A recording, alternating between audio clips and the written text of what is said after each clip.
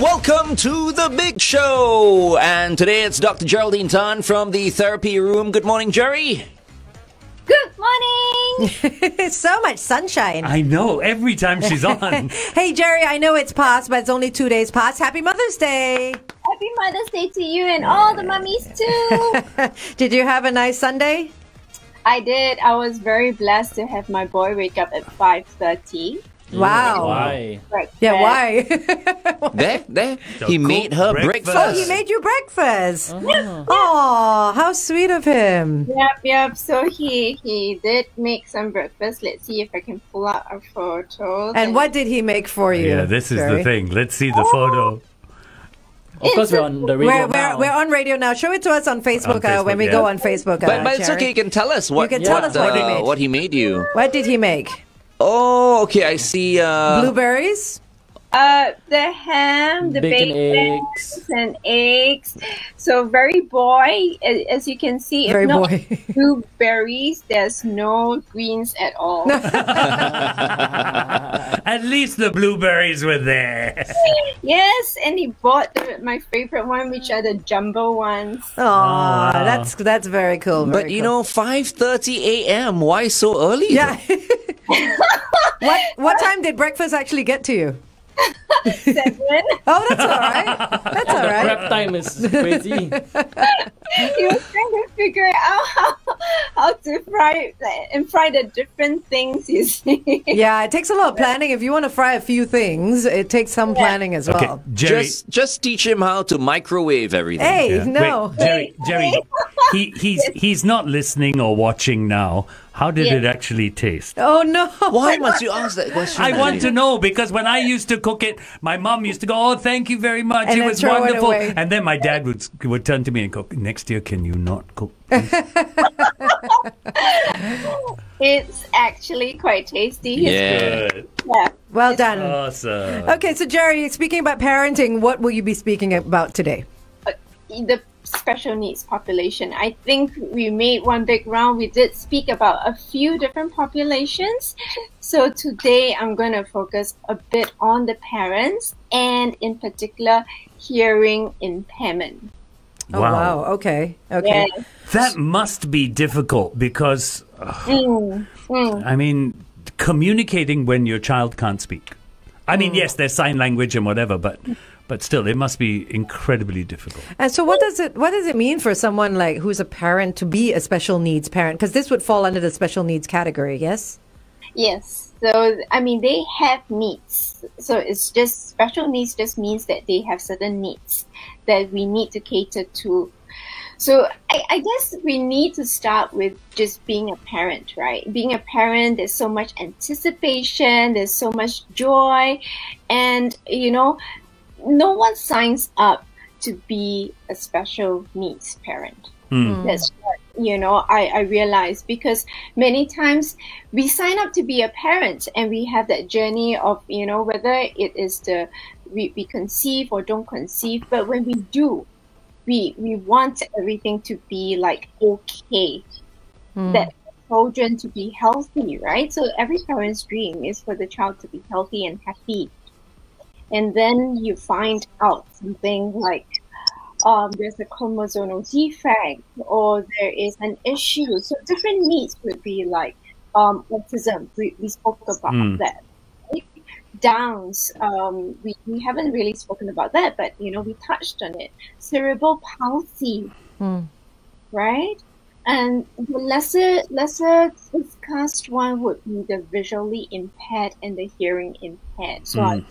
Felt a little bit of light on those areas.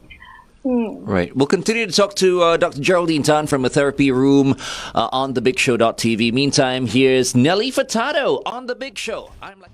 So, Gerry, we were talking about, and you mentioned this, the joy of of having the child, and then you realize that something isn't quite right. Yep. That Yep. must be. I can't find another word other than devastating for the parent. Um, I mean, the first thing is just shock, pure shock, right? Because it's unexpected. You you don't go around planning that. Okay, I I'm preparing myself that my child would have needs. So the, the shock of finding that out and having to reconcile all the pictures and images of parenting in your head because we all have expectations and you know um, uh, the the types of activities that you might or might not be able to do with your child or have to do with your child so all the changes that ha- has to be made in that instance you find out, right? Or all the loss. So uh, one thing that I uh, like to do with parents sometimes when I realize that they are in, uh, they have been living in denial, is to help them to grieve over a parenting um, uh, image that they have. Mm, and can never can never uh, do perhaps you know especially like parents with um, children with cerebral palsy But but Gerry, how if we're talking when we're focusing mainly on hearing impaired, Yes. this is not something you realize when your child is born. It's much later on.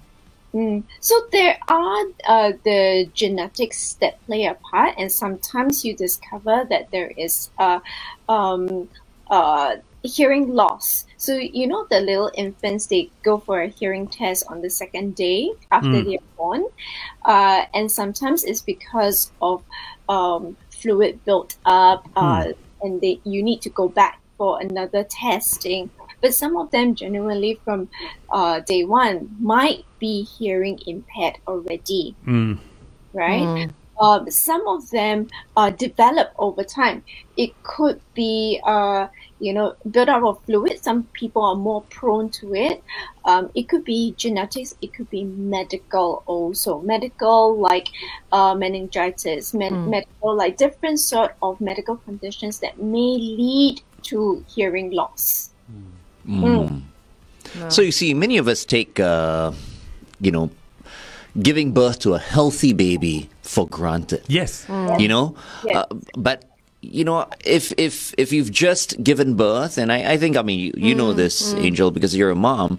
Um, my mom has told me this before. You know, the first thing she did when she delivered, you know, my brother and myself was Ten fingers to and check, ten toes. Yeah, to check the baby and Yep. to pray that that you know that everything is is is Yeah. fine, Fine. and Yeah. everything is, is is good, right? Yeah. I mean, we, we watch movies and and you know everything seems so smooth, Yeah. right? Uh, but um, I think you know we should we should all be thankful. I mean, especially the moms and the dads who are tuned in, who have you know healthy Children. children. Yeah. You know, we're all miracles. True. No, You know, absolutely. uh, absolutely. whether whether or not uh, um, you know we, we come out completely healthy or, or otherwise, Yeah. um, it's um, it's it's a miracle. Yeah. You know, so um, yeah, I guess what, what I'm saying here is, um, you know, we should be very very thankful, uh, you know, for for for everything that we have. Yeah. You know, we take a lot of things for granted. We do, we do. Hmm. Uh, I, I, I think You the know. one thing that Michelle and myself realized when we had our kids was,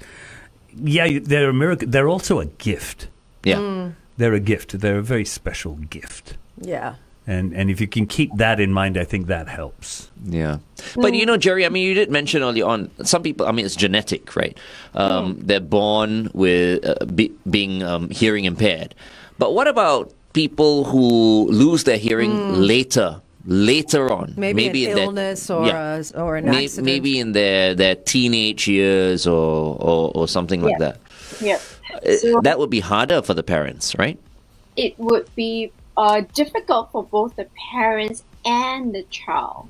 So next week we probably look at you know um, some of the needs of special needs children. Today we focus on the parents, and again you know all the emotions right, from shock to trying to want to find the best sort of care for their children. You know, uh, you can see parents just scouring the the the island and the world for the best sort of treatments for their children because they just want the best for their children. Um, you know, uh, sometimes there there is guilt. Oh, actually, this is a big one. A lot of parents feel very guilty. Mothers feel very guilty. Um, I passed it to my child. I did something to my child.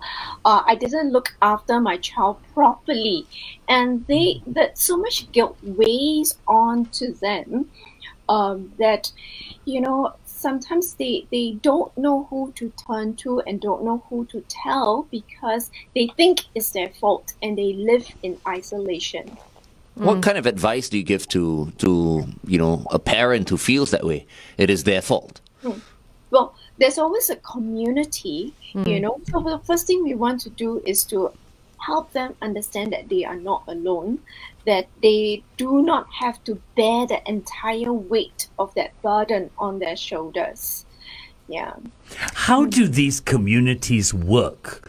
Um, I don't know. I, I know they are they are like a support group, but everybody with the same pain, everybody Yeah. with the same anxiety, everybody with, you know what I mean? Is it like- it like- sounds depressing? Is it like what we, we see on, on, on TV? They sit in a in a in circle. a circle and they speak about their experiences but i guess it helps because they feel they they they realize that they're not the only people going through it Yeah. and that they learn from somebody else's experience because uh uh, I know the red card. I can see it. Um, okay, we'll continue this um, on Facebook. Uh, no, on air. I'm sorry. TV. We have Dr. Geraldine Tan from the therapy room with us, and uh, we're talking about hearing impairment this morning. Yeah, and you were asking. I, I was saying that these support groups, I mean, you mentioned support groups, Gerry, and I was just thinking the people with the same worries, the same anxiety, the same, the same feelings of depression, the same feelings of guilt. How does a support group work? Because it just, it's like everybody is suffering. Because Gerry was saying, uh, uh, you know, some parents, uh, because their kids are hearing impaired, they feel guilty. They Yeah. feel like it's their fault. Yeah. Yep. Well, the support group is not to stew in your Yeah. emotions, right? That's not the intention. The intention is to help you to understand that your emotions are valid, that your emotions are important. And that's what the support group is there for. Mm. And sometimes you don't realize that there are other options because you are only looking at your own pain. You mm. don't realize that there are other options to work around certain things, or and other parents are your resources. So the support group is to support each other. And I suppose with like with any support group, uh, everybody is coming in at a different point in their lives. Mm. Mm. Right, so mm. some are at the just at the beginning. Some have had it on for a few years. So everybody would be able to offer something new to each other, right? Yes. So they and and they would look for resources. They know where the resources are, and we can talk about it in a little bit. I think also the guilt comes a lot with embarrassment, embarrassment of that my child is different. So when you're in that support group, it also helps you to understand that yes, there there may be some differences, but my child is not different hmm. every child is unique.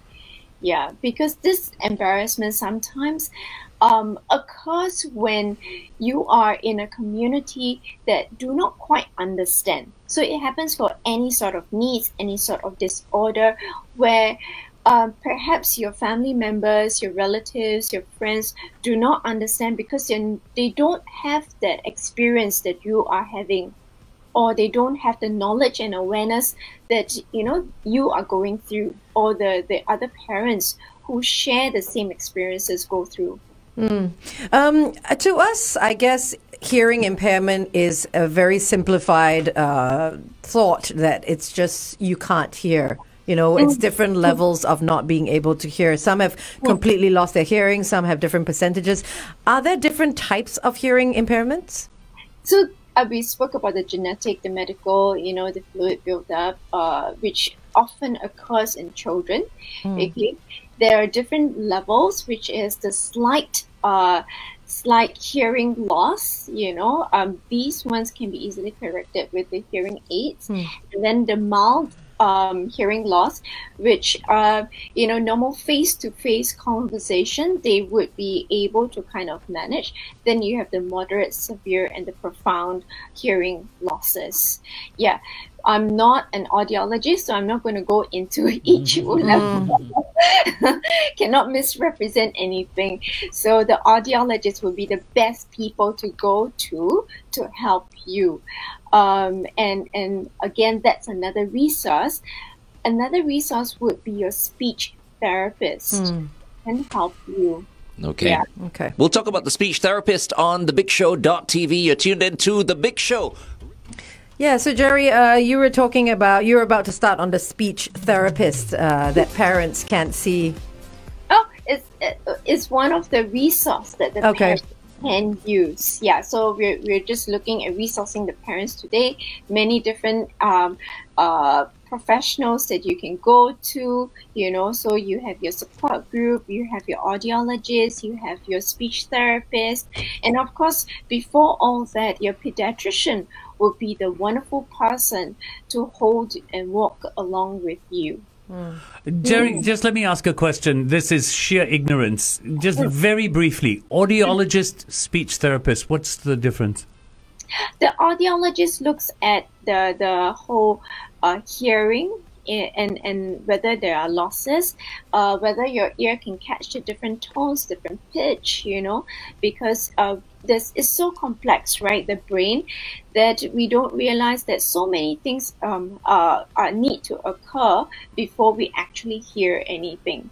So there's the inner ear, there's the outer ear, there's the And I think we take our hearing for granted Yeah. because Do. I have I mean especially with us we Yeah. sit here 4 hours with our with our headphones on and just the everyday person on the street everyone is plugged in these days you know whether they're AirPods or wired headphones or over the ear headphones and I, I a lot of people don't realize that as soon as you lose each one of those senses or a single sensor in your ear it doesn't come back No, it doesn't. it doesn't grow back. It doesn't it doesn't rejuvenate and you know you get you get your sense of hearing back. So i think we should be careful with the volume at which uh, we are listening to things at you know because we're consuming so much information audially Interesting that you say that because I started my career as a club DJ, and I've lost twenty percent hearing in my left ear. Because of that yeah. Because of working. But in because your ears are so big, that's uh, normal. so mean. 20%.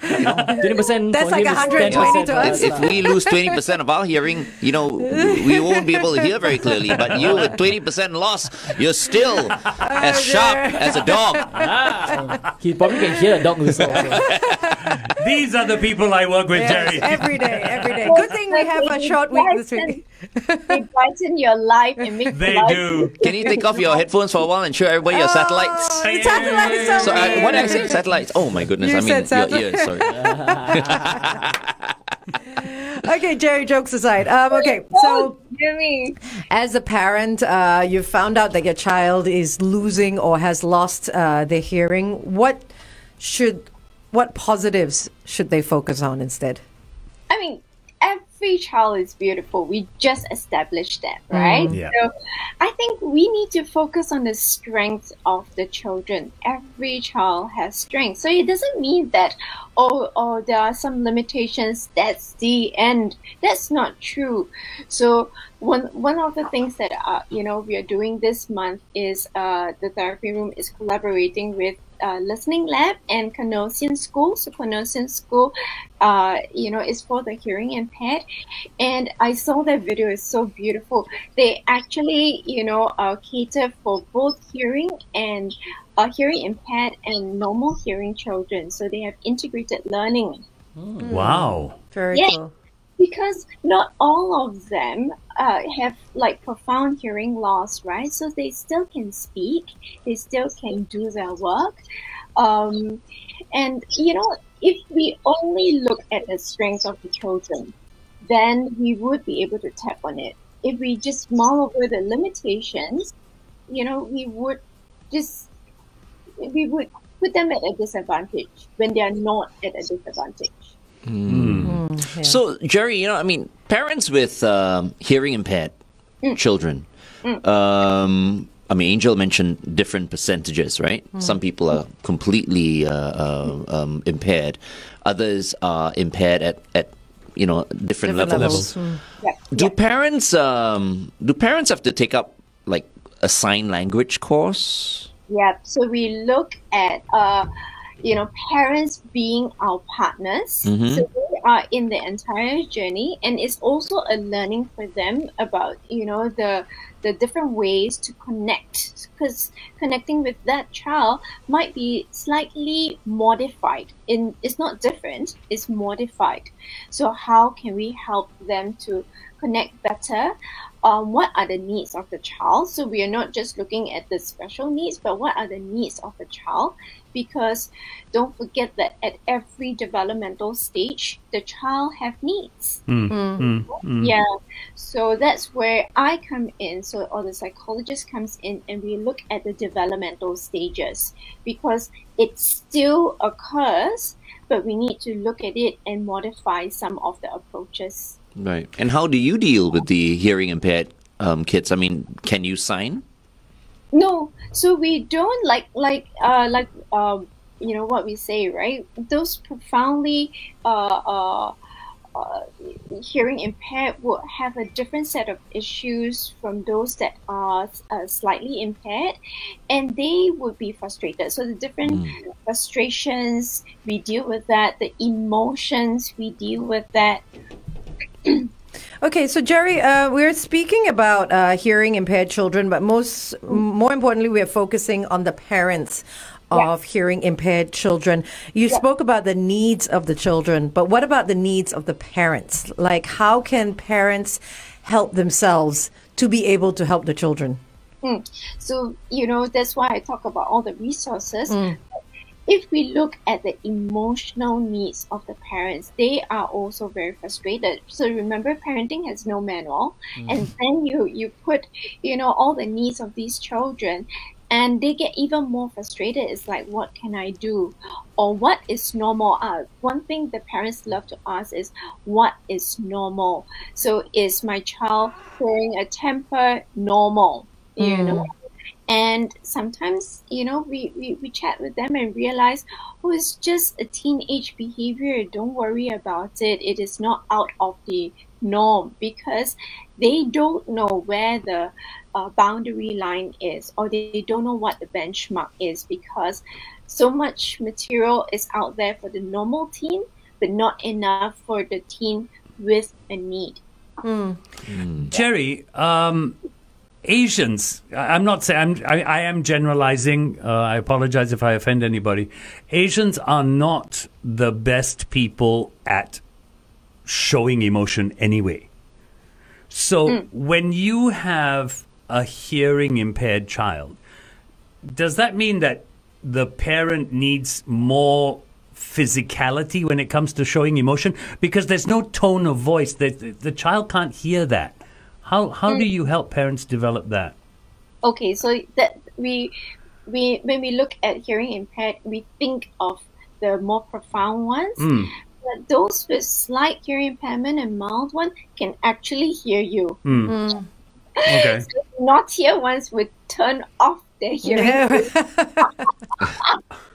Just to suit them. And some can tell from your expression as well, right? yeah, they, they, they can they can and they can feel they're more they're very sensitive um, children but it's quite funny when i hear some of them tell me you know auntie gerry sometimes i don't want to hear anyone i just turn it off Really? and why not? Yeah. Wow. How many times have we gone, shut up? Yeah, true. Right. Okay, hold on. Everybody stand by one traffic. Good morning, Singapore. Welcome to The Big Show and the TheBigShow.tv. We have Dr. Geraldine Tan with us from the therapy room. Good morning, Gerry. For those of you who are listening to us, if you are parents of a hearing impaired child and you have questions, you can always go to our Facebook page and uh, put your questions down. We'll try and deal with them this morning. Speaking of our Facebook page, I just want to give a big shout out to all the people who are commenting right now. Frida, Madeline, Joel, Mark, Tamanas, everybody's listening as well. Good thank you so much. morning. What are they morning. saying? What Maybe are they we should read saying? some of the comments. Well, Madeline, Madeline has come out and said uh, that parents really need to look after their kids. Uh, she rec- recommends buy uh, parents buy volume limited headphones to protect their ears, she recommends uh, decibel levels of no more than 85. Now, I say this because my daughter Nicole is very particular. You guys may remember when we were at the wedding. Yeah. The minute the music started, Nicole put on noise cancelling headphones over her baby. Okay. Oh, right. Okay. Straight yeah, away. Yeah. Mm. Straight away. And uh, Annika does have noise limiting headphones. Oh, that's So no matter how she hits the volume on something, it only goes to a certain level and that's it. That's I- because Grandpa's voice was so loud. he was on stage and he was, uh, you know, having a good time with all of us. But I think all headphones should should come with a limit. Yeah. You know, uh, they they absolutely should. I don't think there's Your phone any does, reason. no? It my phone like for, for me, if I put my volume up, my Hmm. my my screen will pop up and say it's going past the maximum. But then you're just like, yeah, but I really can't hear. You Yeah. know, and then you still go up. Yeah, it but- should No actually point stop. what? Yeah. But you know, Gerry, don't don't you agree that these days, you know, I mean, uh, compared to when we were growing up, like when I was growing up, you know, my mom just told me, okay, huh, so I got you this Walkman, huh? you don't blast the music, okay? Hmm. Because if you blast the music, you'll just go deaf. Yeah. That's what she said, Yeah, yeah. right? Yes. And Yeah. and uh, that that stuck in my mind, Yes, right? So yeah. I, I always made sure that it was at a comfortable level. And sometimes, uh, you know, Just if it's a a, rock song, up. shook lah, you know, you just up it a little bit, but but not to to the point where you're gonna go deaf. Yeah. Yeah. Yeah. You that was always what they said, right? Yeah. You're going to go deaf. And yeah, and it was so simple back then, right? Okay, if you if you continue to listen to your music at this level, you're gonna go deaf, and Yeah. that would scare us enough, Enough. for Yeah. us to Yeah. to to be careful. Yeah, but that's these true. days it's It's like, you know, it's a different world we live in. are but- people stupid or what? no. Also, like, okay, we're not talking about that kind of disability. Uh, Shaun, yes. Oh no, very quick. I just want to say uh, shout out to teenagers who go for concerts. I mean now nothing, but back yeah. then concerts. I used to go for a lot of concerts, and I used to stand in front of the speakers. Yeah. Just got shook only lah, but Yeah. it's very bad for your hearing. Now, if you call me, I won't answer you, no, because I can't hear. What were you thinking, but Shaun? no, I I wasn't mean, thinking that's the problem. You think about it. Don't even think about uh, concerts. Even in clubs, you see Yeah. kids Yeah, yeah, standing concerts, next to the that. massive speakers, you know, just so that they can feel that vibration. I feel that as soon as I start to feel the vibrations in my eardrums, I'm like, this is way too loud. I'm getting out. Well, Yeah, Ray. Ray has a term for it. He calls it auditory delusion. That's a good. See, these these are the kids uh, whose parents never said those words. Yes, my mom You'd be never told me. surprised. Oh, she never did. Never. Oh, Wow. Yeah, I learned it the hard way. okay, Gerry. Like you were talking, you're talking about uh, hearing and speech impairment. I more often than not, correct me if I'm wrong. They come together.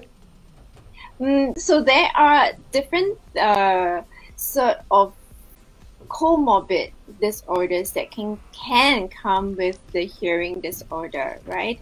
So that's one thing that we are going to cover during the talk. Uh, so we are going to have a talk on the 21st of May. So that's one thing that we're going to cover also. Yes, it can comorbid. So that's why we work as a team because it's so hard to kind of filter out who takes which, which parts of it.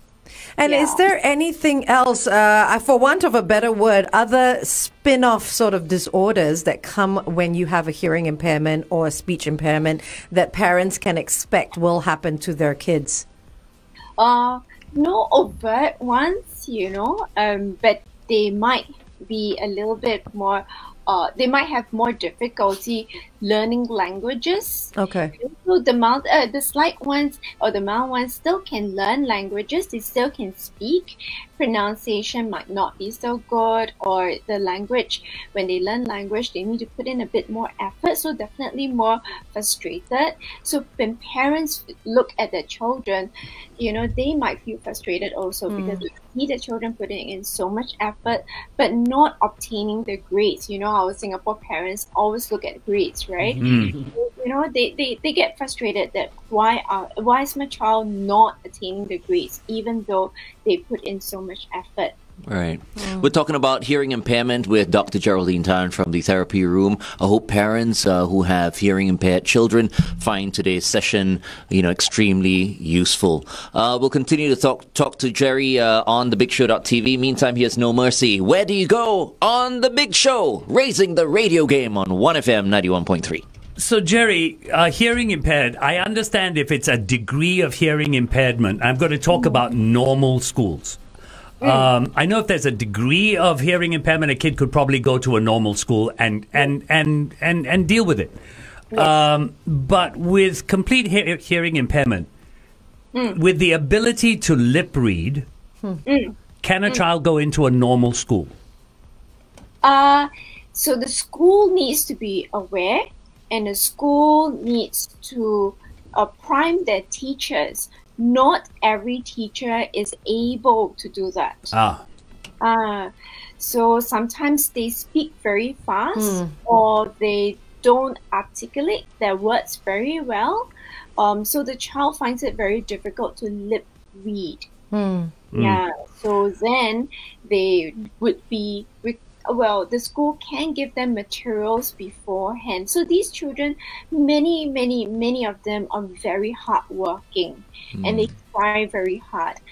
Yeah, but um, now with the mask, um, Oh my yeah, goodness. it's impossible. so difficult. Yeah, I mean we can talk about it next week, but it is so so so difficult. Yeah. Wow. I'm reading. I'm I'm reading your lips very clearly because the sun is shining so nicely on. oh on- yeah, on your actually, She's blushing. Yeah. Natural light Gerry's is the best. blushing. you got a lovely, lovely sunlight. Why on do that to me? Always, right? He always, yeah. he always yeah. does this. Another question coming through on our Facebook page: um, Parents who are deaf, parents who who who who, who are uh, who can't speak, yes, uh, can they have normal children? Is this hereditary or isn't it? it can be hereditary, or it uh, or it can be acquired over time. If it's acquired over time, they still can have normal uh, children with normal sight and normal hearing. Yeah. Yeah. I like how she corrected what you said. Yeah. You cannot say deaf. No. No, you cannot. Yeah. No, she said. He said, uh, "Normal." Can you have? Uh, can normal, parents, or no? Can, normal can deaf, children? deaf and But even deaf who- people don't use deaf anymore. Do they not use the words No. deaf and mute anymore? No, right? Hearing impaired. That's very interesting because I, I have I have a, a deaf friend, Hmm. and when Oh, I say again, you're again. hearing impaired, I got it. he init- he comes straight back to me and goes, "I'm not impaired. I'm deaf. I can't hear at all." Yeah, but that's I him am lah. Deaf. Yeah. But then So- other, So I need to. Which is which then is the correct thing for me to do? Call him deaf. Right? actually, I have a better word. Maybe his name is deaf. I have a better word. I have better words. Just say can't hear. No, but Gerry, come on, seriously. What is the politically Yeah, correct term he to is use? 100% deaf, and he says, "I'm deaf. I'm not hearing impaired." well, it He says really im- he sees impaired as as Per- partially deaf. percentage of right? Yeah. Yes. So which is correct? No, as long as the person is comfortable. Yeah. I, I think it's very difficult. That's why we, we are having conversations. We have open conversations because they will tell us, you know, um, what is comfortable for them. So, for mm. example, like my eyesight, I'm wearing contact lens, right? But my eyesight is just horrible. I'm blind as a bat hmm. if I take out my contact lens, you know. Hmm. Yeah. But I will tell everyone I'm blind.